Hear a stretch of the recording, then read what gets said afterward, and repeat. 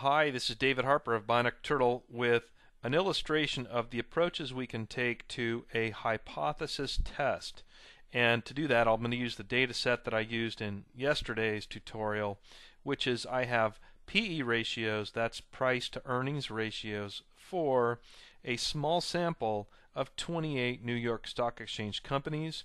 So here's the sample. These are PE ratios. I've hidden the rows for most of the companies, so you've just got to believe there's 28 rows there of PE ratios. I took the average or mean of those and got 23.25 as the average PE ratio for the small sample. I say small because it's less than 30.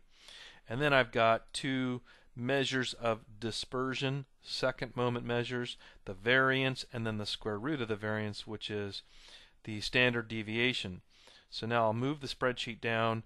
I have a count here, tells me that there are 28 companies in the sample. DF is degrees of freedom.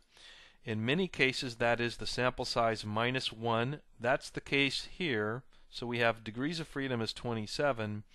And then I select a confidence level.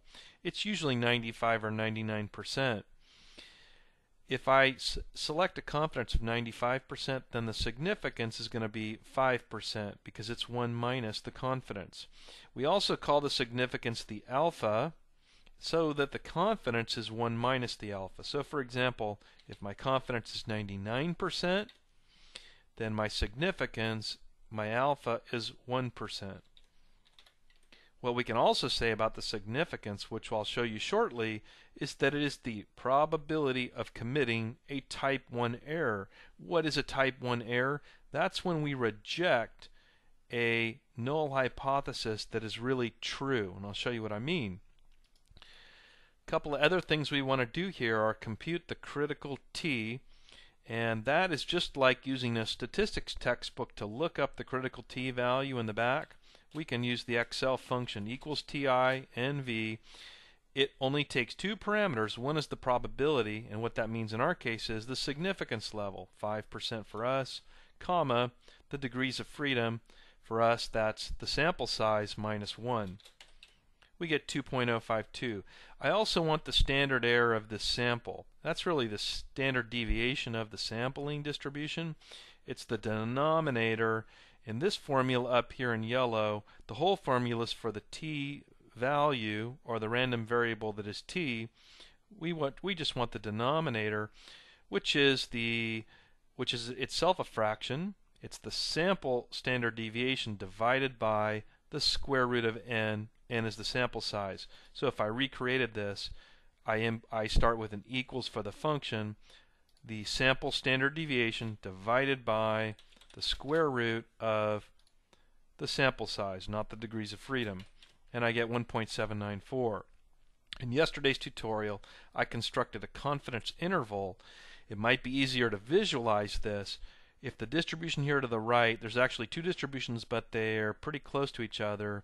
The t distribution in red converges on that normal in green, and if our sample mean is here in the middle, what we mean by the confidence interval is, in our case, with 95% confidence, we think the random variable could fall within the bounds that start at the lower limit, in other words, to the left, by 2.052 standard deviations. And that interval is bound at the upper limit by going to the right, that is adding 2.052 standard deviations. And remember, the standard deviations are the standard error. So I got the lower limit by saying equals sample mean minus, minus for the lower limit, my critical t value, which again is a function of the confidence, multiplied by my standard error or my standard deviation. I get 19.6. The upper limit, almost the same formula. I take the mean, I add the critical t multiplied by the standard error. That's my confidence interval. Now let's do a hypothesis test. To do that, I need to create a null hypothesis. My null hypothesis, and I'm just following Gujarati's example from the textbook for my FRM customers. Let's say my null hypothesis is that the population mean is 18.5. So remember, we drew a sample of 28 companies. We found their average PE ratio to be 23.25. But we create a null hypothesis that says, well, is it possible that the whole population PE ratio, the true PE ratio, is 18.5? See how it's quite a bit different. Is that possible given the small sample size? Well, we have two or two and a half ways to look at this. The first is just with the confidence interval that we've the interval that we've constructed. Here's my confidence interval. Its lower limit is 19.6, so that's over here on the left. Its upper limit is 26 over here on the right. My hypothetical value of 18.5 falls outside of that interval. See how it's less than the lower limit? It's to the left, it's outside of it. And remember that area inside the interval constitute comprises 95% of the total area under the curve. So we reject the null hypothesis that or we reject the idea that the true PE ratio is 18.5. Okay, so I have a second way to do this with the t value. I can just compute my own t value here, and I do that by saying equals the sample mean minus my hypothetical mean. See how that gets me a difference between them? And then I divide by the standard error. I compute a t value of 2.65 and compare that to the critical t value, which was a function of my confidence and degrees of freedom. My critical my t value is greater than my critical t, and so similarly on that basis I can reject this null hypothesis, this idea that the population PE ratio is 18.5. And finally, maybe the best way of all to do this is to compute a p-value. And to do that I use the Excel function tdist. So that just that returns for me the student's t distribution and I give it my x value which in this case is my t value I give it the degrees of freedom. My degrees of freedom is 27, and then I give it the number of tails, and it's a two-tailed test because I, I don't want to know if my true value is greater than or less than. I just want to know if it's different than, either greater or less than. And that gives me, that returns for me the p-value, which is 1.3%. What does that tell me? Well, the p-value is really equivalent to the significance except that I don't select it.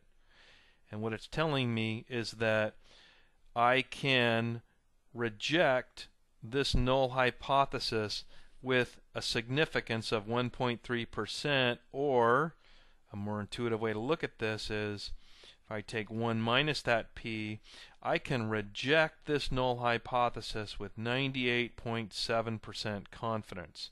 I can be 98.7% confident that my true underlying population PE ratio is different than that's either greater than or equal greater than or less than the 18.5 hypothetical value.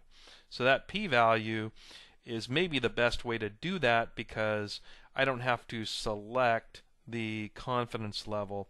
I let the p value tell me with, with, with what level of confidence I can reject the null.